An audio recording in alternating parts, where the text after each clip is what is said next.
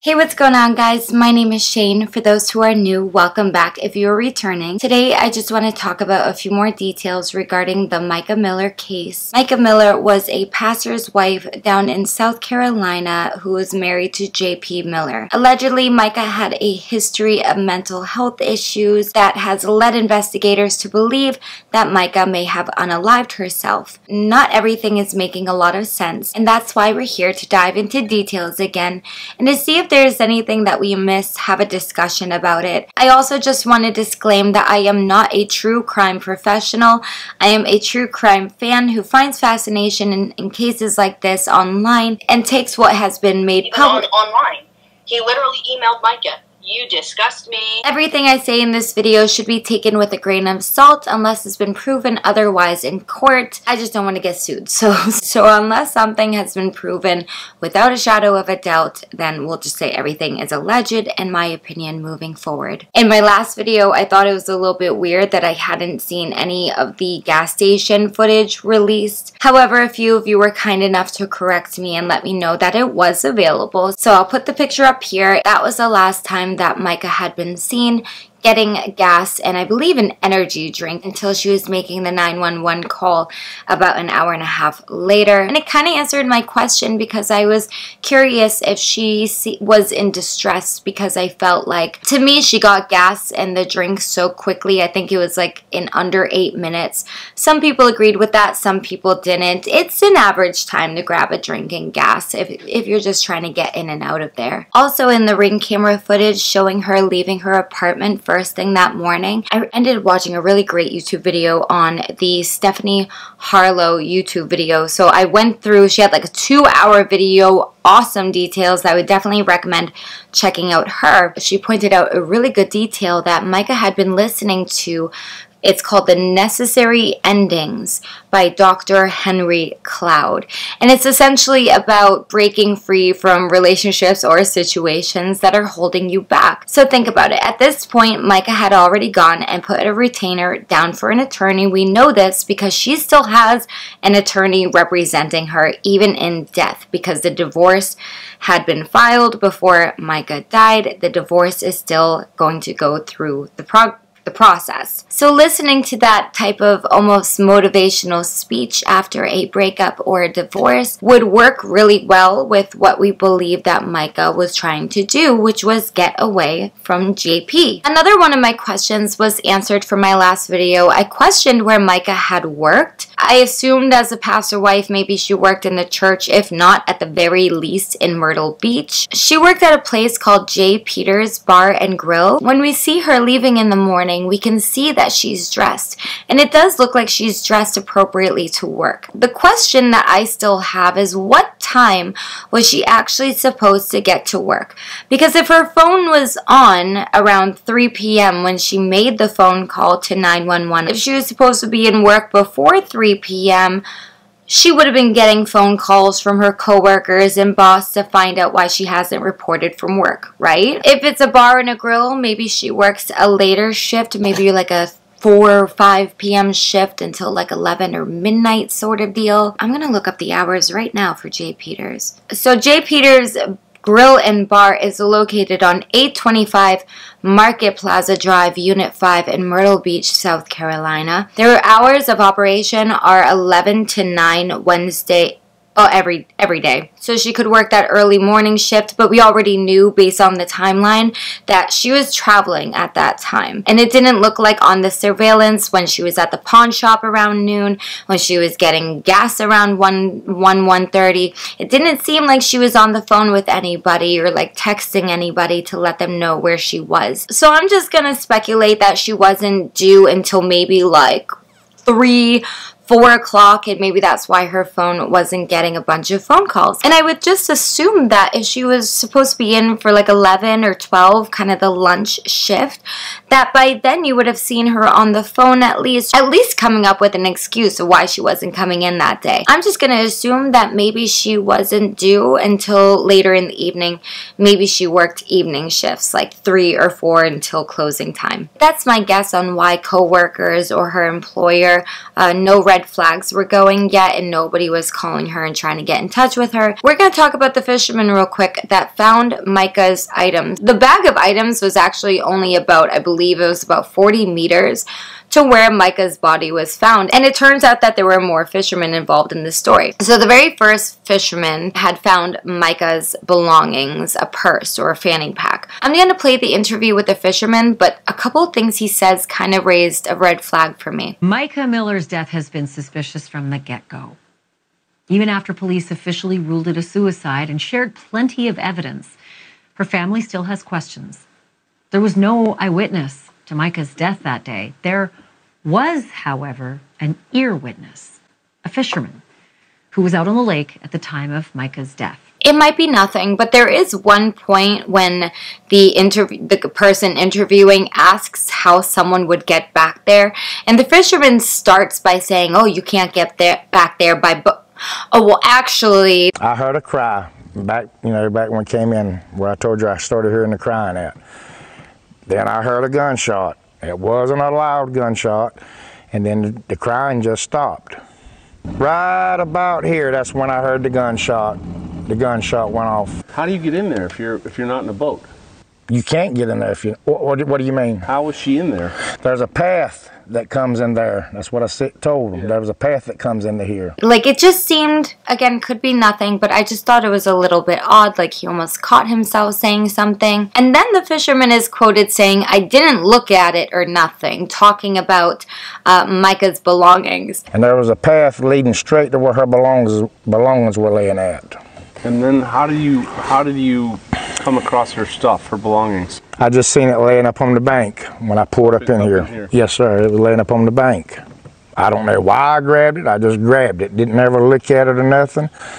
I got out and I looked around because there was a clearing on the left and the right, and I looked around because I felt like something was wrong, but I never seen nothing. I took the stuff, put it in my boat, went back to the landing. But then a minute later, he goes on to list everything that Mica had uh, in her belongings. her driver's license, her bank card. She had her um, keys. Five hundred dollars, a little over five hundred dollars. Every bit of that money got back. Not only did he list the belongings, but he listed the $500 cash that we knew Mica had on her at the time, and I believe it was just from the pawn shop where she had just purchased her weapon earlier that day. But then he also stresses that the money is still there. And granted, the, the man was probably just under a lot of stress and being like, listen, I didn't touch anything. There was a 500 there. There's 500 still there. Didn't ever look at it or nothing. Her driver's license, her bank card. She had her um, keys. Five hundred dollars, a little over five hundred dollars. Every bit of that money got back. I just thought it was interesting enough to note uh, what was said in the interview, and he sort of backtracks a little bit. So then, come to find out, there was a second fisherman who ended up locating Mica's body in the water. I know we had a lot of questions about that, like how can you tell a person dropped or where the gun is if they're in water? I believe, again, I wasn't there. There's no more information I can find at the moment about it, but they just said that they found her in the water. So I can just assume that maybe he was out fishing and just saw a body in the water. I don't know. Mind you, the police were already looking for Mica because her call was disconnected. They were able to track her phone that led them to the River State Park, and that's when they had found her car in the parking lot. When the police found Mica's car, they saw the gun case in the passenger seat as well as ammunition ammunition ammunition in the center console. So News Nation got the chance to speak with Mica's family, and this is what News Nation had to say. Quote, to get to the location where Mica Miller's body was discovered, her family had to walk down two separate trails, walk through knee-deep water, and climb through mud, trees, and fallen debris. And it is quoted that most of this walk was in knee-deep water. Going back to my very first video I talked about does not line up with her calling 911 and saying, hey, I want to be easily found, and then travels in water to be I, I can't I can't get over the sermon that he made the next day. There's one part that he says that's really kind of not sitting right with me. Mica had just been found the day prior. JP was uh, allegedly informed that evening. He gets up. This is a Saturday.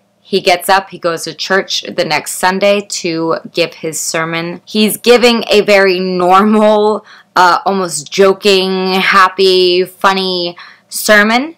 And then at the very end of his sermon is when he decides to drop the ball that his wife unalived herself. But the way. Uh, Sir, and I am going to refer to Stephanie Harlowe's video when I talk about this because she made a fantastic point. But if you were just informed the night prior that your wife was found with a gunshot wound to the head, you, Mr. JP, just went on and assumed that it was her unaliving. You didn't even give the investigators time. It was last night. They haven't even done their full investigation and you are so confident. Can you imagine the embarrassment, okay? If you got this wrong and you said, oh, my wife passed away this way, and then it comes to find out that after an investigation it was a different way, how embarrassing. Wouldn't you only publicly announce the cause of a spouse's death if you knew for sure or if you were trying to lay a foundation. Guys, guys, guys, guys, guys, this is what she did. So if you hear anything else over the next couple of weeks with this story coming out, listen. I already told you. I already I already told. Can I get an amen? I quoted a piece of the sermon where he's talking about Mica's death because he also brings up her mental health. I cannot put myself in a position, let's just say my spouse unalive themselves. I'm not grieving. I'm not uh, devastated by this. I'm able to get out of bed and put on my nice button down and stand up on stage and crack a few dad jokes because, you know, I'm the pastor and I got to put that front on. But then at the end of my sermon, I start getting a little teary-eyed and I, as hard as I push, I can't quite get a tear to roll down my cheek, but I'm going to sit there and express to you how how upset that I am that my, my beloved unalived herself. The police haven't confirmed that yet, but unalived herself and uh, yeah, she also has a lot of mental health problems. You all know that, right? Remember? Remember? Mica has mental health problems. Joe, she has mental health problems, right? Everybody knows that she has mental health problems, right? Like that's what I truly think is going on in this church. So I'm going to just quote something from JP's sermon and you tell me what you think. This is how he tells the church about his wife's unaliving. Quote, I am taking a little bit of a break and I don't want to have to worry about the church. Oh, we wouldn't want to worry about that now, would we? That was my own annotation. Sorry. Back to the quote. I don't want to have to worry about the church. My uh, my break maybe a few days, a few weeks. I don't know. I got a call late last night. My wife has passed away. It was self induced and it was up in North Carolina. And we're going to have a funeral for her next Sunday here at 3 p.m. And I'm just kind of going on adrenaline right now. Y'all pray for me and my kids and everybody. She wasn't well mentally. She needed her medicine. That was hard to get to her. Let's speak about her medicine real quick, JP. We're going to cover this in my next video, but I believe that JP had so much more control over Mica than we believe. I think a lot of it is now being uncovered, but in my next video, you're not going to want to miss it because this man was allegedly, according to Mica's lawyer, who is still active by the way, um, is quoted saying, In fact, he admitted he would cut up her pills and give them to her if she refused to take the medication. We're talking about lithium. Interesting. He would also inject her in the buttocks with steroids. Oh, to help her libido. That's going to be next video, but I think my biggest takeaway from today was the fact that JP almost, I feel like, told on himself a little bit. Have you ever seen those interviews where they're uh, interviewing a suspect? And I'll, I'll give you a per, I'll give you a perfect quick example. There was a Judge Judy episode. This uh, woman was taking a man's a man to small claims court uh, because he stole her purse. So the lady goes up on the stand and says, uh, "Your Honor." He stole uh, my, my purse on this this day. Judge says, well, what was in the purse? What are you missing? And the girl starts listing off, well, I was missing my, you know, credit card, my wallet, my keys, my headphones. And the guy, the guy who's trying to say he didn't do anything, uh, says, Your Honor, there were no headphones in that purse essentially telling on himself that he stole that purse. This feels very much like that, where JP maybe shouldn't have known at that moment yet because there hasn't been a full-fledged investigation. And again, I wouldn't be telling everybody I knew, especially an entire church, unless I knew for sure how my wife passed away. You don't want to get that wrong. What's going to happen, Mr. JP, if you go in front of the church and say, oh, Mica unalived herself, and then it comes out that she didn't, it was a homicide. Maybe even not for you, but let's just pretend that it was a homicide by somebody else. How silly is the leader of the church gonna look if he just he just told us all that she to himself and, and, and in reality something else happened? Why would you make such an early assumption and get everybody all worked up and then even take it further and say, well, she unalived herself, but also it was because she was dealing with mental health. So you're telling me in under 24 hours, not only do you have the reason why she did it, but you also have the how and the where?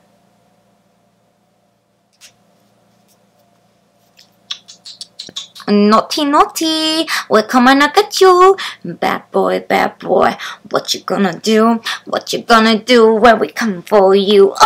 Oh, you're gonna be in trouble. Alright guys, you're not gonna want to miss our next video. We're gonna be diving into Susie Skinner. Again, there's a little more information about her and her paraplegic husband who mysteriously also passed away. Mr. JP has also maybe possibly flirting with some waitresses who might have something to say. That's going to be in my next video. Make sure you subscribe so you don't miss it, and I'll see you in my next one.